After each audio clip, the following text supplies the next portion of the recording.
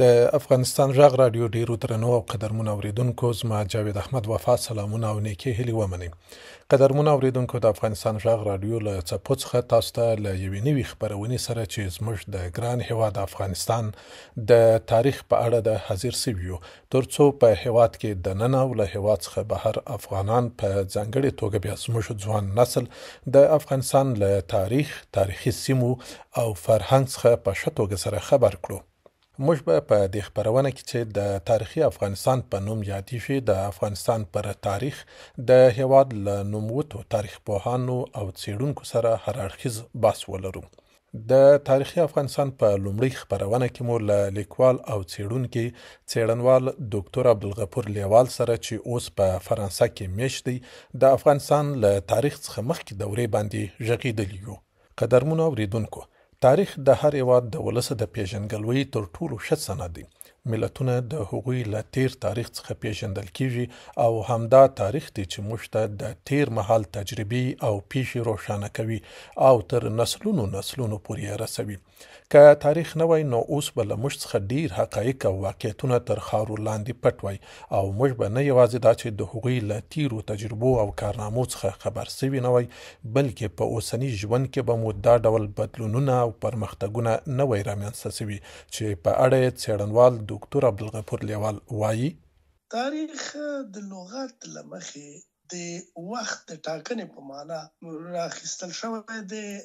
دغه د مصر چاپ المعرب وايي، چې تاریخ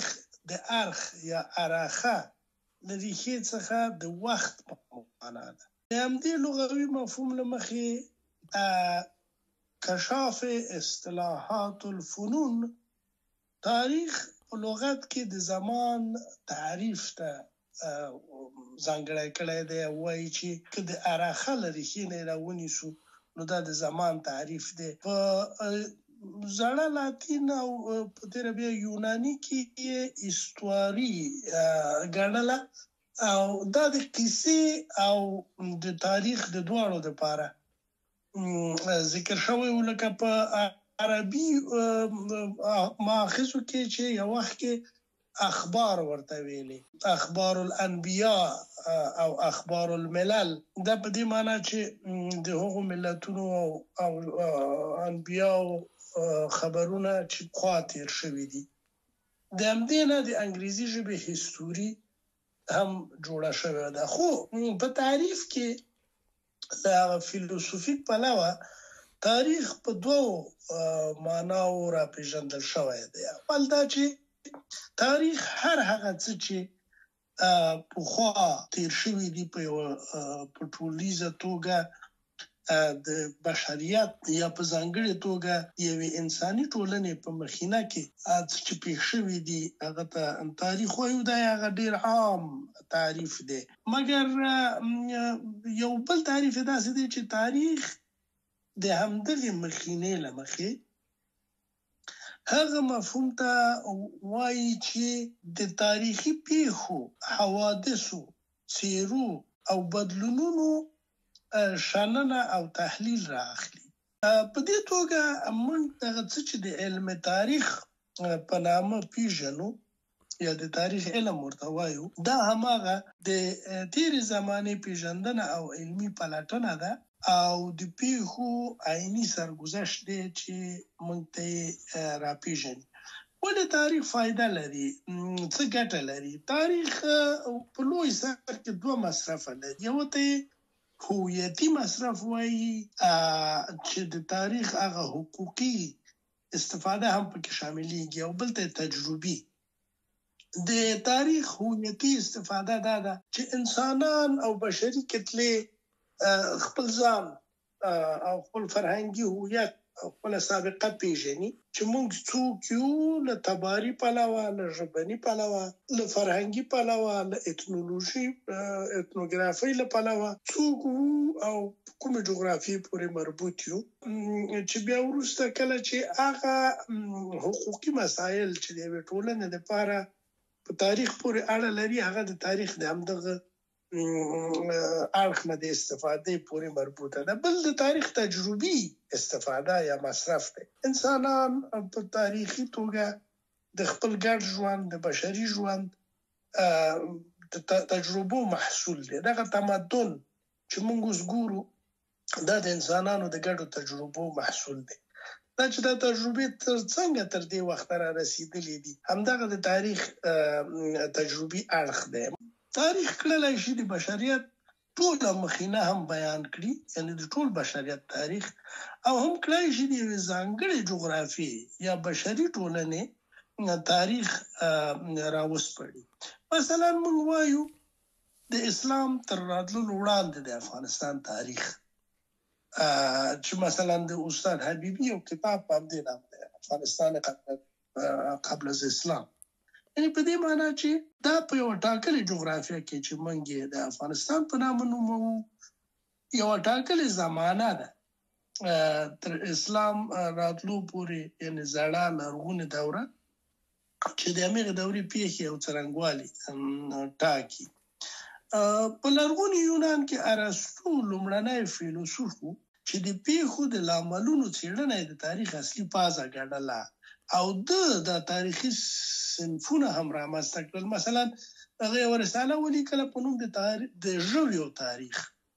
د همدې لپاره وروسته بیا تاریخ لږ یو څه څانکیز شو، مثلا د ادبیاتو تاریخ، د علومو تاریخ او دغسې نور تاریخي تخصصي برخې رامنځته شوې. ښاغلی لیوال وایي چې د هر هېواد ولس باید له خپل تاریخ څخه په ښه ډول خبر وي، له تیرو ترخو تجربو څخه یې زده کړه وکړي، ترڅو بیا یې تکرار نه کړي او د ولس د ژوندون د هوساینې لپاره د رامنځته شوو نوښتونو، بدلونونو او پرمختګونو د دوام لپاره لا نور کار وکړي. تاریخ موږ ته دا راښیي چې موږ څوک یو؟ او څوک وو او څه ډول سابقه مو درلوده ګډ ملکیتونه مو کوم دي کله چې مونږ وایو مثلا د افغانستان سندونو اوبه په مونږ پورې اړه لري د افغانستان ځمکه زموږ ده مثلا مونږ وایو د افغانستان ځنګلونه زموږ ملکیت دی د افغانستان کانونه د افغانستان موقعیت دا ولې وایو؟ دا تاریخ موږ ته وایي چې موږ دلته اوسېدلي یو او دا زموږ هیواد دی او دا هیواد په موږ پورې اړه لري بل خبره دا ده چې که څوک د خپل هیواد له تاریخ څخه خبر نه وي نو هغه باید ټول هغه تیروتنې او اشتباهات بیا تکرار کړي چې په تاریخ کې شوې دي یعنی موږ باید له صفر نه شروع کوو هغه تجربې وو چې زموږ نیکونو کړی دي اما کله چې موږ خپل تاریخ نه خبر او موږ په دې پیوګو چې افغانستان د کومې ناحیې نه مثلا تر ګواښ لاندې راتلی شي کمزوري د د جغرافي زموږ د سیمې کومې دي آسیبونه له کوم ځای نه راپیښیږي موږ په تاریخي دورو کې بیلابیلو دورو کې له کومو ستونزو سره مخامخ شوي یو موږ په تاریخ کې کوم اشتباهات او تیروتنې کړې دي چې بیا یې تکرار نه کړو او کوم پرمختګونه مو درلودلي دي چې لا پسې پرمختګ ورکو دغه د تاریخ ګټې دي ارواښاد علامه پوهان عبدالحی حبیبي د افغانستان په لنډ تاریخ کې لیکلي چې تاریخ په عمومي ډول په دوو دورو ویشل شوی دی چې یوه له تاریخ نه وړاندې دوره او بله تاریخي دوره ده هغه دوره چې انسان د لیک په لیکلو او موندلو نه و بریالی شوی له تاریخ نه وړاندې دوره بلل کیږي او له هغه وروسته چې لیکدود را پیدا سو تاریخي دوره بلل کیږي چې په اړه یې ښاغلی لیوال وایي په لوی سر کې تاریخ په دوو برخو ویشو ویشل کیږي یو ته تر تاریخ پخوا لرغونې دوره وایي یعنی ما قبل تاریخ چې بولی او دا د رسم الخط یا لیک تر ظهور پخوانۍ دوره ده د دې دورې خصوصیت دا دی چې ټول مادي میراثونه یې د لیکلي روایت پرته په خپل مادي اعتبار سره څېړل کېږي مثلا لرغونو انسانانو په لاس باندې چې جوړ کړي دي لومړنۍ ډبرې توګلې دي یا مثلا دوی هغه چیزونه چې د میر د یو مادي میراث په توګه تر منګ را پریخي دي مثلا په خام او په خاټه باندې څه وسایل جوړ کړي دي یا د لوی ډبرو په مخ انزورونه کړي دي د هډوکو کودیو د ونو پوټکو د ژویو پوستونو باندې چې دوی خپل ورځنی استفاده لپاره یو څه تر جوړ کړی دي دا لدینه د لرغون پوهنې په ځانګړي میتودونو باندې موږ ویدل شو چې دا کومه دوره پورې اړه لري او بیا دغه دورې مطالعه کوو مګر بل دوره تاریخي دوره تاریخي دوره د انسان په لاس د انسان په وسیله د خط تر رامنځته کېدو وروسته شروع کیږي موږ ولې دې ته تاریخي دوره وایو تاریخي دوره د دې لپاره ده چې انسانانو خپل سرګذشت لیکلای دی او په دې باندې استناد ډیر کېدلای شي په دې باندې اعتماد ډیر کېدلای شي ځکه دا د انسانانو لیکلي اسناد دي لومړنۍ کتیبې لومړنۍ خټینې لوحې میخي خط هیروغلیف خط او نور هغه خطونه چې ډیر پوخا په زاړه بین النهرین یا اوسنی عراق کې یا په آسوري مدنیت کې آشور یا آسوري مدنیت کې لیکل شوی دی او بشریت تر لاس ورغلی دی دا دین وروسته تاریخي دوره شروع کیږي البته یو بل ډول وی شم دی د انسانانو د تاریخ چې وایي انسانان اول په اسطوري دوره کې ژوند کوله او هغه پښتنو ته چې دوی ته پیدا کېده او له طبيعت نه ویره درلوده دوی خپله اساطیر ایجادول او اوبو ته پرنا وړله او دا هغه وخت و چې دوی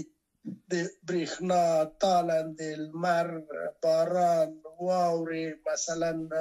سمندر، ځنګلونو د دې شیانو لپاره بېلابېل خدای ګوټي ټاکل دي ته اساطیري دوره وایي. بله دوره فیلسوفي که یا فلسفي دوره وایي او دا هغه دوره ده چې انسان پوښتنې مطرح کوي چې موږ څوک یو، له کومه راغلي یو، دا نړۍ څه ده او د ژوند مفهوم څه دی. هر کله چې دغو پوښتنو ته ځواب موندلی دی، د طبیعت کې د مداخلې دې ته بیا موږ علمي دوره وایو، د تاریخ علمي دوره. د تاریخ علمي دوره هغه وخت پیلېږي چې انسان طبیعت د ځان په ګټه بدل کړی دی. نو په مجموع کې دغه د تاریخ ویش دی، خو وروستۍ خبره دا ده چې د لرغونې دورې یعنې د ماقبل تاریخ دورې توکي په لابراتوار کې څیړل کیږي، تاسو په دې پوهیږئ چې د لرغونپوهنې بیلابیل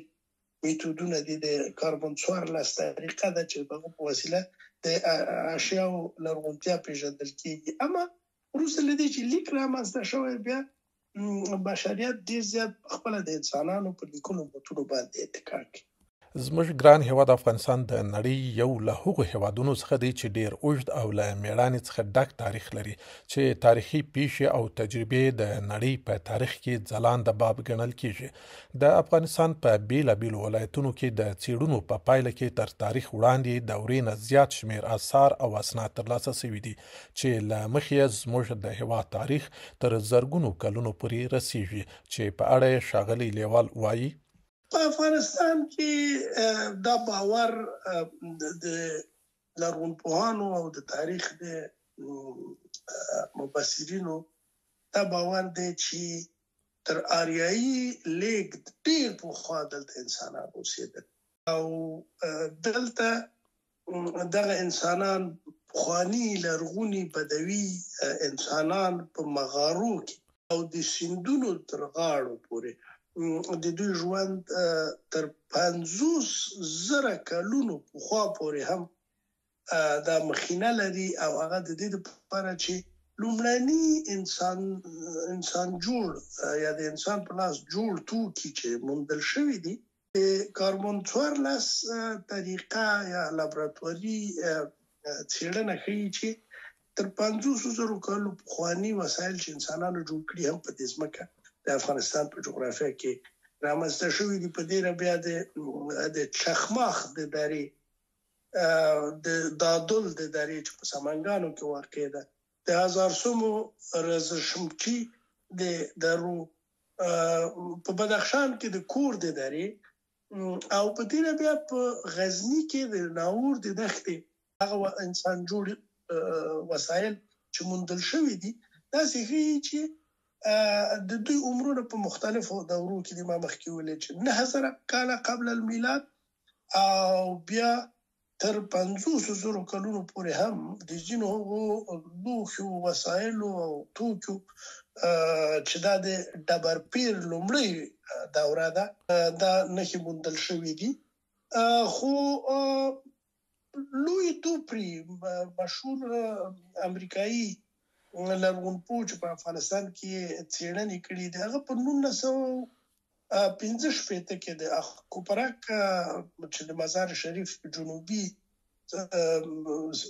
لوري واقع دی د لومړي ځل لپاره د ژیړو یا د برونزو هنداره قطمه یو کړه وسله او د آس قیزه وموندله چې همدارز داسې د یوه ګوتمۍ وموندله شوه چې د لاجوردو غمه یې درلوده او دا په دوم ډبر پیر پورې مربوط یعنی د دې تاریخ 9000 کال تر میلاد پخوا دی دا یو مکمله پکیج یو مکمله بسته و چې دا سیخي چې دلته دغه کسب د زرګری د آس د قیزی جوړولو یا خپل د آسونو د د رام کولو یعنی له آس څخه د سوارلې او د نورو کارونو لپاره د استفادې لپاره استفاده د وسلې جوړول او حتی له برونزو یا ژیړو څخه د کار اخیستنې دا سابقه لږ تر لږه نهه زره کاله مخکې له میلاد څخه چې اوس دغه د یوولس زره کاله ترې تېرېږي دې دورې ته رسېږي بل ځل په نولس سوه یو پنځوس کال کې په موندیګک کې هغه څېړنې چې وموندل شوې تاسو پوهېږئ چې موندیګک د کندهار شمال خواته پنځه پنځوس کیلومترۍ کې واقع دی دلته یو داسې تمدني حوزه وموندل شو چې خلکو په ګډو کلیو کې ژوند کاوه او د معمارۍ د لومړنیو آثارو نښې الته ډېرې لورایه وموندل شوې او چې جالبه ده چې دغه د مونډیګک مدني حوزه د سند د موهنجادارو او د ننني ایران یا په هغه وخت کې لرغوني پارتیا او فارس هغه ته بین النهرین حتی د مدینه ترانې تر سواحلو پورې په دغو حوزو سره د یو رابطه د څه چې د دې حوزو د تګ راتګ د پلار کې واقع یعنی په تجارتي لار کې واقع سیمه و دغه منډیګه کو د ټولو تمدنونو نخې پکې وي دغه تمدني